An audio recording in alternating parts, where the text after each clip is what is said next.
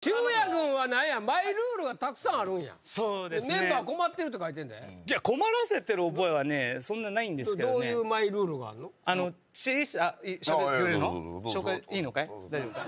あのち小さい頃からあのこっちの手で触ったものを同じ強さでこっちも触らなきゃいけないっていうのがずっとありまして。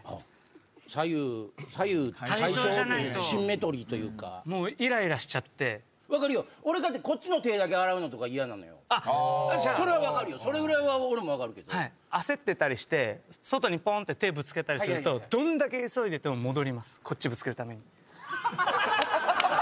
こっちのネガティブな方もそうなんですよ。ガンってぶつけてもこっちだけ痛いのとかがもう許せなくて急いで戻って同じ力でぶつけてもう一回行くみたいな 今ちゃうやろ？今はもう治ったんや。今はようやくなりました。中学校3年間ぐらいで直しました。よう治ったな。あのもう無理やり直しました。もうぶつけてすぐ電車乗っちゃうとか。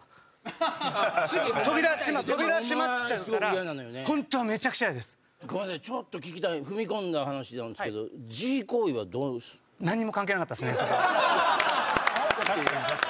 G 行為でシンメトリーをやろうっていうのは。あのそういうことを言われると気になってきちゃうんですよ。これもう試し出すで。これねダメなんですよ。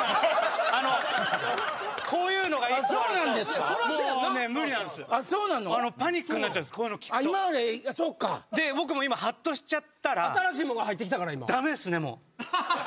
もう均等にしないそんとなん言い出したらいっぱいあるよ。ハーブブラシやめてくださそうねサッカーとかどうすんの？いいやもう本当に本当に利き足とか利き手はあるんで好きにやらせてください。よ言うてることおかしいようやくようやく治ってきたんでそっとしておいてはくれませんか？